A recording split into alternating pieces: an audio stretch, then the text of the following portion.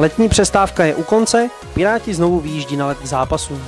Než si představíme prvního soupeře z Omsku, zhrneme si dění u Pirátů od posledního mistrovského utkání.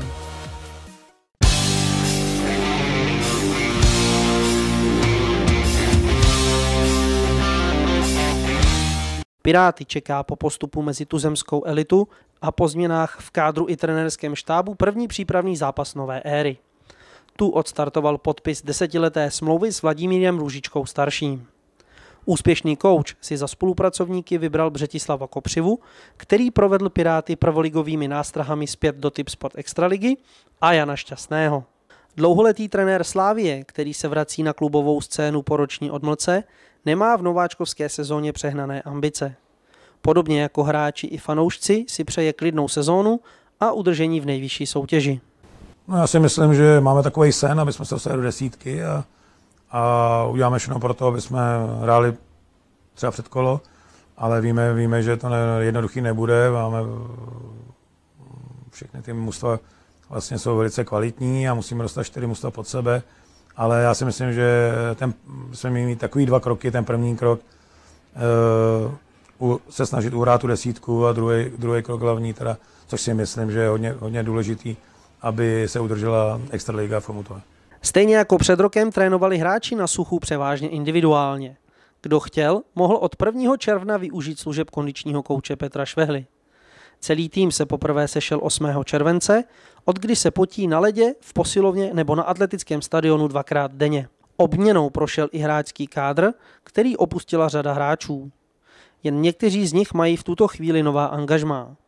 Obránci Libor Šulák s Jakubem Stehlíkem odešli do Znojma, další bek Aleksandr Titov zakotvil v Jekatěrinburgu. Tomas Sinisalo se dohodl na smlouvě v dánském Herningu, Nikola Gajovský posílil německý Regensburg ze třetí nejvyšší soutěže. Zadák Jaroslav Mrázek se momentálně připravuje s Kadaní a je velká pravděpodobnost, že právě v partnerském týmu stráví příští hokejový ročník. Jaroslav Koma, Tomáš Bartejs, Mario Scalzo, Brett Skinner, Milan Toman, Martin Kadlec, Brian McGregor, Marek Sikora a Martin Šagát zatím nová angažmá nemají a s Piráty se aktuálně nepřipravují. Mezi novými posilami figurují mimo jiné také tři účastníci letošního mistrovství světa v České republice. Slovinsko reprezentoval obránce Aleš Kranilc, v defenzivě Slovenska nastupoval Adam Jánošík a v útoku domácího výběru se objevoval Michal Vondrka. Zadní řady Pirátů doplnili ještě lotyšský reprezentant Jekab Sredlichs s Petrem Šidlíkem. Do ofenzivy přišli rovněž Tomáš Pospíšil, Marek Tomica a Jakub Sklenář. Za nejvýraznější posilu je považován Michal Vondrka, který po třech letech v kontinentální hokejové lize chtěl zůstat s rodinou a proto odolal nabídkám ze zahraničí. Bylo to víc, eh, víc aspektů, eh, jak rodina, že rostou mi dcery, eh, jedna už chodí do školy, tak jsem s nima chtěl být víc a, a mm, samozřejmě rodina celkově. Když jsme byli v zahraničí, tak, tak jsme celkově tu rodinu nevídali. Uh, druhá věc je samozřejmě, že tady trénuje Růža, který mě sám oslovil a který mě zná a ví, co ode mě může čekat. A třetí věc samozřejmě to, že tady znám polovinu týmu, takže mm, tak nějak s polovinou týmu jsem v minulosti hrál, takže asi ty, tyhle, ty, tyhle ty tři aspekty byly nejhlavnější. Prvním soupeřem Pirátů v přípravě je ruský Omsk, patřící ke špičce kontinentální hokejové ligy.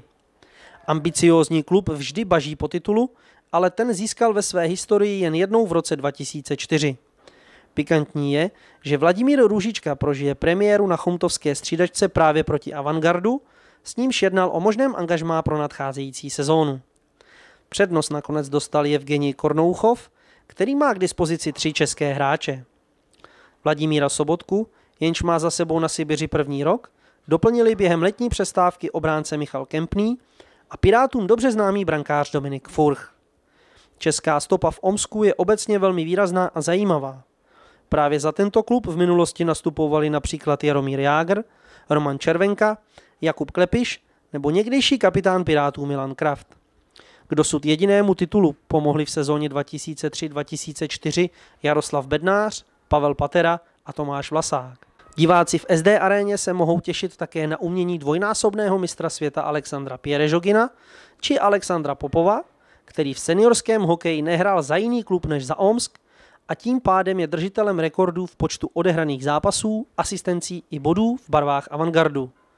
Jen historické pořadí kanonýrů zatím 34-letý útočník neovládá.